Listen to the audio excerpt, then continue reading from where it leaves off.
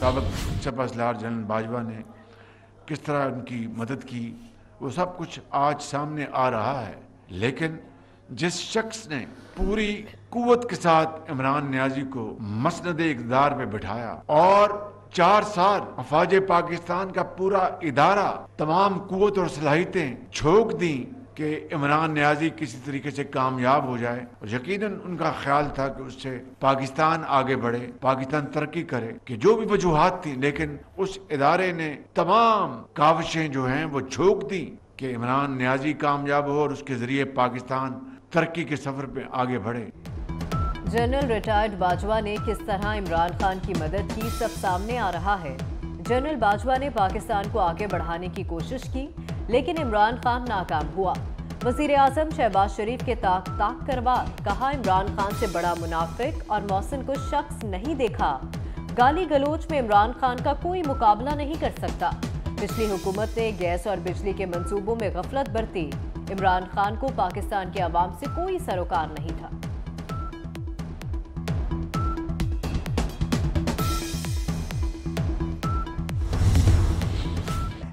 दहशत गर्द और शरपसंद किसी कीमत पाकिस्तानी अवाम के हौसले पस्त नहीं कर सकते। वतन अज़ीज़ की हिफाजत की खातिर किसी भी कुर्बानी से दरेग नहीं करेंगे। वज़ीर अजम शहबाज शरीफ का मुल्की सिक्योरिटी सूरत हाल पर इजलास से खताब। कहा, इदारों के माबेन ताउन से दहशत गर्दी के नासूर को जड़ से उखाड़ फेंके। वज़ीर दाखिला सेक्रेटरी दाखिला नेशनल कोऑर्डिनेटर मुशावरत से जामे लाहे अमल मुरतब करें।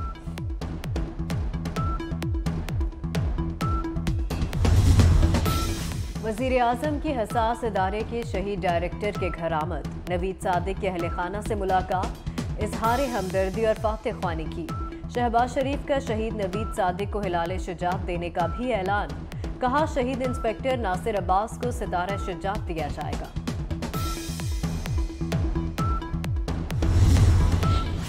इमरान खान इदारों के खिलाफ बयानबाजी से बाज आए। जनरल रिटायर्ड बाजवा के बाद chief justice Islamabad high court justice Aamir Farooq को निशाने पर रख लिया।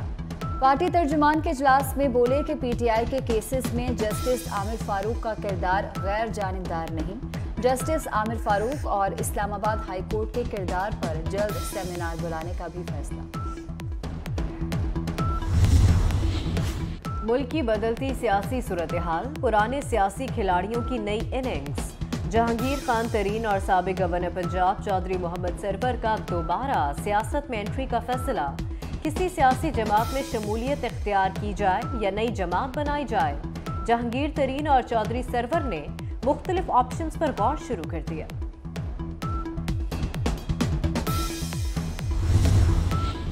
सदर मुमलिकत ने इस्लामाबाद लोकल बॉडी तरमीम बिल वापस भेजवाया तो हुकूमत ने भी तोड़ निकाल लिया। आइंदा हफ़्ते पार्लियामेंट का मुश्तर इजलास बुलाने का फैसला। पार्लियामेंट से मंजूरी के बाद सदर के पास दोबारा बिल भेजा जाएगा। दस दिन में दस्तखत न करने पर बिल अज खुद एक्ट बन जाएगा। वजारत पार्लिमानी अमूर की समरी सदर को भिजवा दी गई।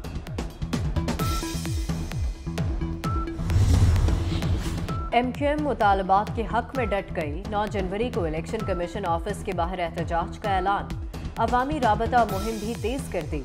Muslim League Noon A N P और फंक्शनल लीग को एहतजाज में शिरकत की दावत दी थी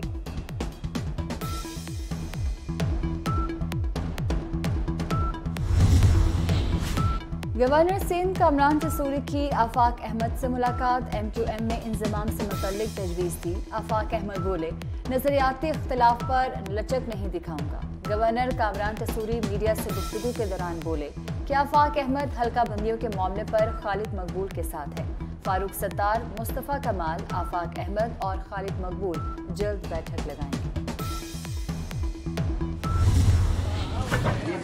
मैं जज साहब का भी शुक्रिया अदा करता हूँ उन्होंने बड़ा थारली सुना। और हमारा जो इशू था वो सवाल हुआ बच्ची ने हमारी फेवर में जैसे आपने देखा। दुआ आप माँ बाप के साथ हैं इस वक्त? लोग देख रहे हैं। क्या लगता है? बिल्कुल साथ है क्या लगता है? कराची से लाहौर जाकर पसंद की शादी करने वाली लड़की के केस में नया मोड़।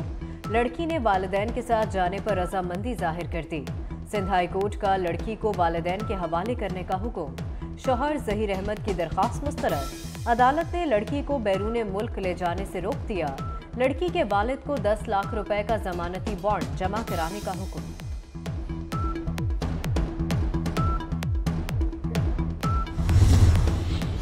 आटे की कीमतों ने रिकॉर्ड तोड़ दिए। मुल्क की तारीख में पहली बार 20 किलो आटे का थैला तीन हज़ार रुपए तक पहुँच गया।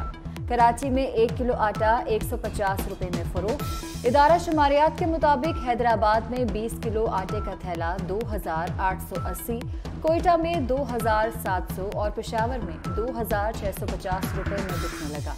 हफ्तावार महँगाई की शरह में भी एक अशारिया सिफर नौ का बड़ा इजाफा, शहरी फटकर।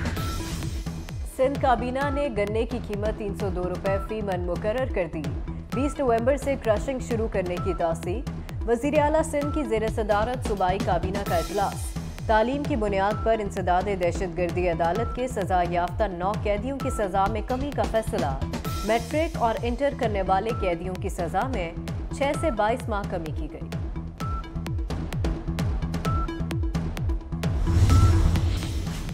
मुल्क भर में कड़ाके की सर्दी, गिलगित में पारा, मनफी छह और कोयटा में मनफी दो रिकॉर्ड। इस्लामाबाद में दर्जा हरारत सिफर हो गया। लाहौर में चार, पिशावर दो और कराची में पारा ग्यारह डिग्री सेंटीग्रेड रिकॉर्ड। फैसलाबाद में पारा तीन, मुल्तान में चार डिग्री सेंटीग्रेड रिकॉर्ड किया गया। मुल्क के बाला इलाकों में कल से बादल बरसेंगे। महकमा मौसमियात ने नवीद सुना दी।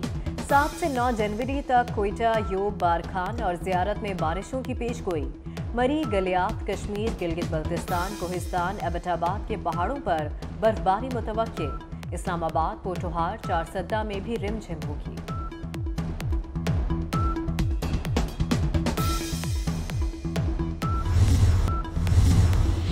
मुल्क के बाला इलाकों में कल से बादल बरसेंगे। महकमा मौसमियात ने नवीद सुना दी।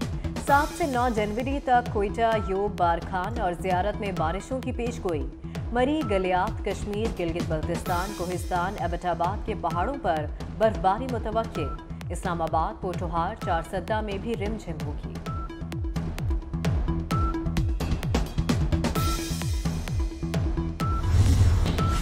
पाकिस्तानी परचम और गुब्बारों को देखकर मोदी सरकार डर गई। लाहौर बार एसोसिएशन ने स्पोर्ट्स गाला के दौरान गुब्बारों के साथ पाकिस्तानी परचम बांधकर फजा में बुलंद किया। गुब्बारे परचम भारत के गाँव तलियाड़ा में गिरने पर भारतीय एजेंसियों और पुलिस की दौड़े लग गईं। भारतीय मीडिया ने भी ब्रेकिंग न्यूज़ बनाकर खूब प्रोपेगेंडा किया। पाकिस्तानी परचम और गुब्बारों को देखकर मोदी सरकार डर गई। लाहौर बार एसोसिएशन ने स्पोर्ट्स गाला के दौरान गुब्बारों के साथ पाकिस्तानी परचम बांधकर फजा में बुलंद किया गुब्बारे परचम भारत के गाँव तलियाड़ा में गिरने पर भारतीय एजेंसियों और पुलिस की दौड़े लग गईं। भारतीय मीडिया ने भी ब्रेकिंग न्यूज़ बनाकर खूब प्रॉपर किया